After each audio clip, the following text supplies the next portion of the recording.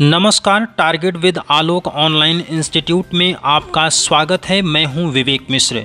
8 PM news bulletin में सबसे पहले आपके लिए एक महत्वपूर्ण सूचना। आपको मालूम है कि संघ लोक सेवा आयोग ने आईएएस 2021 की प्रारंभिक और मुख्य परीक्षा के लिए तारीखों को घोषित कर दिया है। अब ऐसे में देखा जाए तो ठीक नौ महीने का ही समय आपके पास तैयारी के लिए सुरक्षित है। आईएएस और पीसीएस परीक्षाओं के लिए प्रारंभिक और मुख्य परीक्षा के लिए सामान्य अध्ययन एक विस्तृत चुनौती के रूप में है। श्रेष्ठ शिक्षकों की टीम के साथ टारगेट विद आलोक इंस्टीट्यूट में आईएएस और पीसीएस टारगेट ऑनलाइन बैच में कक्षाएँ 15 सितंबर से प्रारंभ हो रही हैं, जिसके लिए नौ महीने की अवधि निर्धारित की गई है। हम सिर्फ़ पढ़ाते नहीं, बल्कि प्रशासनिक अधिकारी की तरह सोचने की क्षमता भी विकसित करते हैं, जिससे बेहतर तरीके से कम समय में प्रारंभिक और मुख्य परीक्षा के लिए सामान्य अध्ययन को तैयार किया जा सके। आलोक सर के कुशल निर्देशन में 1150 घंटे की कक्षा सटीक रणनीति के साथ देश के सर्वश्रेष्ठ विशेषज्ञों की टीम एक मंच पर न्यूनतम शुल्क में। हमारे कक्षा कार्यक्रम के तहत प्रारंभिक परीक्षा में सामान्य अध्ययन और सीसेट, मुख्य परीक्षा में सामान्य अध्ययन और निबंध शामिल है। इसके अंतर्गत प्रारंभिक और मुख्य परीक्षा के लिए सभी टॉपिक का विस्तृत कवरेज होगा। सभी टॉपिक अंतर विषयक समझ के साथ मुख्य परीक्षा के लिए तैयार कराया जाएगा। प्रारंभिक और मुख्य परीक्षा के लिए अलग अलग हस्तलिखित और सारगर्भित नोट्स सीसेट की कक्षाओं का संपूर्ण कार्यक्रम, अखिल भारतीय स्तर पर टेस्ट सीरीज़ सुविधाएँ। इस बैच में प्रवेश लेने के लिए nine nine one eight triple zero four five four पर एंट्री आई एस लिखकर व्हाट्सएप करें। हमारे इस बैच से संबंधित किसी भी जानकारी के लिए दिए गए नंबरों पर संपर्क करें। और अब खबरों की तरफ़ बढ़ते हैं, लेकिन उससे पहले आज की हेडलाइंस पर एक नज़र। पूरी दुनिया में उठ रहा एक बड़ा सवाल, आखिर चीन के लिए कौन कर रहा जासूसी? कई भारतीय हस्तियों का नाम शामिल। कांग्रेस नेता वेणुगोपाल ने पूछा, सवाल, क्या भारत सरकार को नहीं पता है यह मामला? अमेरिकी राष्ट्रपति चुनाव में कई राज्य पोस्टल वोटिंग को सुगम बनाने को लेकर कर रहे हैं प्रयास। भारत से अलग अमेरिका में सभी चुनाव राज्यों द्वारा कराए जाते हैं संपन्न। भारत में भी खास वर्गों के लिए है पोस्टल वोटिंग की सुविधा। एक सवाल जो पूरी दुनिया की सुरक्षा और गुप्तचर एजेंसियों के लिए बड़ी चुनौती है कि आखिर चीन के लिए जासूसी कौन कर रहा है।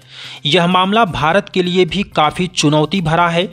इसी बीच कांग्रेस नेता और सांसद के सी वेणुगोपाल ने केंद्र सरकार से भारतीय राजनेताओं और प्रमुख अधिकारियों पर चीन की जासूसी के मुद्दे पर स्पष्टीकरण मांगा है। राज्यसभा सुनवाई के दौरान श्री वेणुगोपाल ने कहा कि मीडिया खबरों के अनुसार चीन की कम्युनिस्ट पार्टी और सरकार से जुड़ी सेंजेन स्थित tech company Zhenhua data information पर तकरीबन दस हज़ार भारतीय नागरिकों की डिजिटल निगरानी का गंभीर आरोप लगा है। इसमें राष्ट्रपति, उपराष्ट्रपति, प्रधानमंत्री, नेता विपक्ष, सेना प्रमुख और कई सांसद भी शामिल हैं। श्री वेणुगोपाल ने यह मुद्दा उठाते हुए कहा कि मैं सरकार से यह जानना चाहता हूँ कि क्या यह बात उनकी जानकारी में है और अगर है तो सरकार इस बारे में क्या कार्यवाही कर रही है। मज़े की बात तो यह है कि हाल ही में गृह मंत्रालय ने राज्यसभा सदस्यों को बताया था कि बीते छह माह में चीन की तरफ़ से कोई घुसपैठ नहीं हुआ है। आपको बता दें कि एक अंग्रेज़ी अखबार में दावा किया गया है कि चीन की सेंजेन स्थित सूचना तकनीक कंपनी जिन्हुआ के तार चीन की कम्युनिस्ट पार्टी से जुड़ा है। अखबार की रिपोर्ट के अनुसार, जब चीनी कंपनी से इस संदर्भ में बात करने का प्रयास किया गया तो कंपनी ने अपनी वेबसाइट ही बंद कर दिया। यह कंपनी न सिर्फ़ भारतीयों की, बल्कि ऑस्ट्रेलिया और ब्रिटेन के भी चर्चित हस्तियों और सरकारी अधिकारियों का डेटाबेस तैयार किया है। लंदन का डेली मेल लिखता है कि कंपनी ने महारानी और प्रधानमंत्री सहित चालीस हज़ार प्रमुख लोगों का डेटाबेस तैयार किया है। इस मुद्दे पर बीजेपी सांसद राजीव चंद्रशेखर ने कहा कि यह डिजिटल जासूसी का दौर है और अब डेटा प्रोटेक्शन और प्राइवेसी सिर्फ़ अध्ययन का विषय नहीं रह गया है। वहीं कांग्रेस प्रवक्ता रणदीप सुरजेवाला ने कहा कि क्या मोदी सरकार को पहले ही पता था या भारत सरकार को पता ही नहीं चला कि हमारी जासूसी हो रही है। आखिर भारत सरकार देश के सामरिक हितों की सुरक्षा में बार बार फेल क्यों हो रही है? इस पूरे मामले में एक बड़ी बात यह है कि दिल्ली की ऑब्ज़र्व रिसर्च फाउंडेशन ने इस पूरे मुद्दे पर शोध भी किया और पाया कि साल 2017 में ही चीन ने नेशनल इंटेलिजेंस लॉ लागू किया है, जिसके अनुच्छेद सात और चौदह में स्पष्ट रूप से कहा गया है कि जब ज़रूरत महसूस हो तो चीनी नागरिकों और संस्थाओं को चीन की सरकारी गुप्तचर एजेंसियों के लिए काम करना होगा। इन सब के बावजूद एक बात जो सामने आ रही है, उसमें यह साफ़ हो जाता है कि आज आर्टिफिशियल इंटेलिजेंस दुनिया भर में जानकारियाँ जुटाने का एक महत्वपूर्ण ज़रिया बन चुका है। आज आर्टिफिशियल इंटेलिजेंस एक बड़ा व्यापार है जो एप्लीकेशंस और वेबसाइट के ज़रिए चलता है और लोगों से जुड़ी व्यक्तिगत जानकारियों को बेचा जा रहा है। आगामी नवंबर में अमेरिकी राष्ट्रपति चुनाव को मद्देनज़र रखते हुए अमेरिका के कई राज्य पोस्टल वोटिंग विकल्पों को आसान बनाने का प्रयास कर रहे हैं। पोस्टल वोटिंग का विकल्प कोविड 19 महामारी के कारण चुना जा रहा है। संयुक्त राज्य अमेरिका में भारत के विपरीत व्यवस्था है। यहाँ राष्ट्रीय स्तर पर चुनाव कराने के लिए सरकार से अलग और स्वतंत्र कोई चुनाव आयोग जैसी संस्था नहीं है। यहाँ का संविधान राज्यों को इस बात का अनुदान देता है कि वे चुनाव कैसे कराते हैं, जिसके लिए अलग अलग प्रांतों में नियम भी अलग अलग होते हैं। आसान भाषा में कहें तो अमेरिका में सभी संघीय, राज्य और स्थानीय चुनाव सीधे व्यक्तिगत तौर पर राज्यों की सरकारों द्वारा आयोजित कराए जाते हैं। आपको बता दें कि अमेरिका का प्रत्येक राज्य पोस्टल वोटिंग की अनुमति देता है, लेकिन नियम हर राज्य में अलग अलग हैं। कुछ राज्य तो मतदाताओं को अनुपस्थिति मतपत्र की भी व्यवस्था करते हैं। अगर वे इस बात को स्पष्ट करते हैं कि वे चुनाव के दिन व्यक्तिगत रूप से उपस्थित क्यों नहीं हो सकते, इस परिस्थिति में ईमेल के ज़रिए मतदान देने की अनुमति मिलती है। वहीं दूसरी ओर कुछ राज्य में नो एक्सक्यूज एबसेंटी वोटिंग की व्यवस्था है, जहाँ मतदाताओं को बिना कारण बताए ही अनुपस्थिति मतपत्र मिल जाता है तो वहीं कुछ राज्य वोट बाई ईमेल की भी सुविधा देते हैं। गौरतलब है कि साल 2016 के अमेरिकी चुनाव में डाक मतपत्रों के ज़रिए तकरीबन 24 प्रतिशत मतदान हुआ था, लेकिन इस बार के चुनाव में इसमें इजाफा होने की संभावना व्यक्त की जा रही है। इस बार के चुनाव में डोनाल्ड ट्रंप और उनके समर्थकों का मानना है कि पोस्टल वोटिंग से अनाचार को बढ़ावा मिलेगा। हालाँकि पार्टी का एक वर्ग डोनाल्ड ट्रंप से असहमत नज़र आया। इनका मानना है कि डोनाल्ड ट्रंप जानबूझकर डाक मतदान को बाधित कर रहे हैं। भारत में पोस्टल वोटिंग की बात करें तो भारत में पोस्टल बैलेट की शुरुआत भारत सरकार द्वारा 21 अक्टूबर 2016 को निर्वाचनों का संचालन नियम 1961 के नियम संख्या 23 में संशोधन करके किया गया था।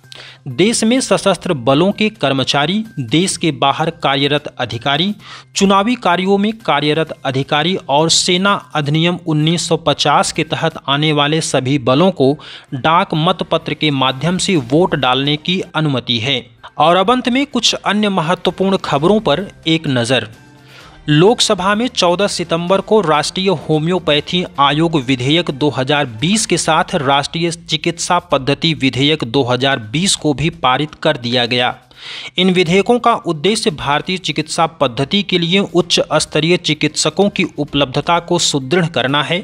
राष्ट्रीय होम्योपैथी आयोग विधेयक 2020 राष्ट्रीय होम्योपैथी आयोग की स्थापना के लिए होम्योपैथी केंद्रीय परिषद अधिनियम 1973 का स्थान लेगा।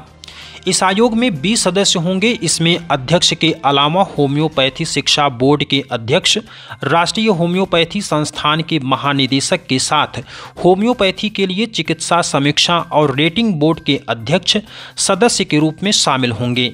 इन दोनों विधेयकों में होम्योपैथी के साथ साथ भारतीय चिकित्सा पद्धति के लिए सलाहकार परिषदों का भी गठन करने का प्रस्ताव है। भारत को संयुक्त राष्ट्र, आर्थिक और सामाजिक परिषद यानी इकोनॉमिक एंड सोशल काउंसिल के महिला स्थिति आयोग का सदस्य चुना गया है।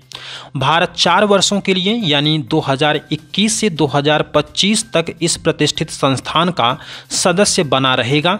भारत का चयन स्त्री, पुरुष, समानता और महिला सशक्तिकरण के प्रति भारत को प्रतीक माना जा रहा है।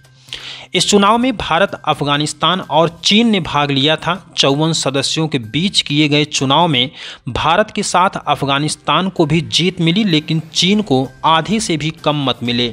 आपको बता दें कि संयुक्त शब्द आर्थिक और सामाजिक परिषद, आर्थिक, सामाजिक और पर्यावरण को आगे बढ़ाने के लिए संयुक्त राष्ट्र का एक प्रमुख अंग है। वित्त मंत्री निर्मला सीतारमण ने हाल ही में बैंकिंग सेवाओं को और अधिक सुविधाजनक और समस्या मुक्त बनाने के उद्देश्य से सार्वजनिक क्षेत्र बैंकों डोर स्टेप बैंकिंग सेवाएँ शुरू की हैं। इससे वरिष्ठ और दिव्यांगजनों को सार्वजनिक क्षेत्र के बैंकों में लाभ की उम्मीद की जा रही है।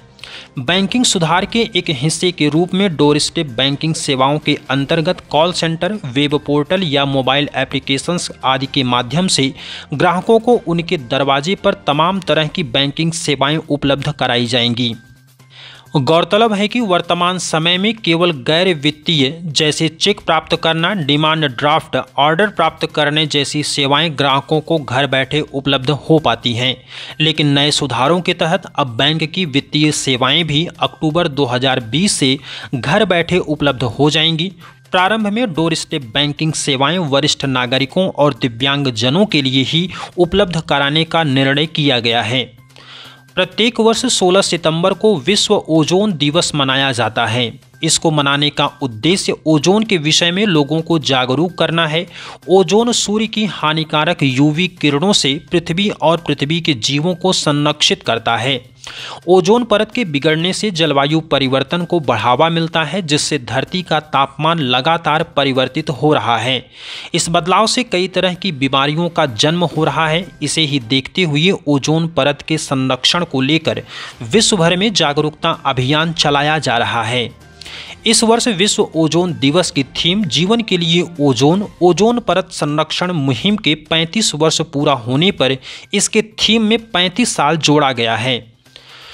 1988 बैच के आईएएस अधिकारी राजेश खुल्लर को विश्व बैंक का कार्यकारी निदेशक नियुक्त किया गया है। मंत्रिमंडल की नियुक्ति समिति ने खुल्लर को पदभार ग्रहण करने की तारीख से तीन वर्ष के कार्यकाल की मंजूरी दे दी है। खुल्लर वर्तमान में हरियाणा के मुख्यमंत्री मनोहर लाल खट्टर के प्रधान सचिव के रूप में तैनात हैं। नवंबर में विश्व बैंक का हिस्सा बनेंगे। खुल्लर कार्यकारी निदेशक के तौर पर विश्व बैंक में भारत, बांग्लादेश, भूटान और श्रीलंका का प्रतिनिधित्व करेंगे।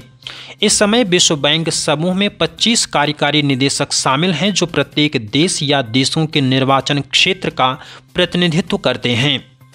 फ़िलहाल 8 पीएम के इस न्यूज़ बुलेटिन में बस इतना ही। हमारा ये वीडियो आपको कैसा लगा हमको ज़रूर बताएँ। वीडियो को लाइक करें, दोस्तों के साथ शेयर करें, चैनल को सब्सक्राइब करें और अपनी तैयारी को एक नई दिशा देने के लिए जुड़े रहिए target with Alok online institute से। मुझे दीजिए इजाज़त, नमस्कार।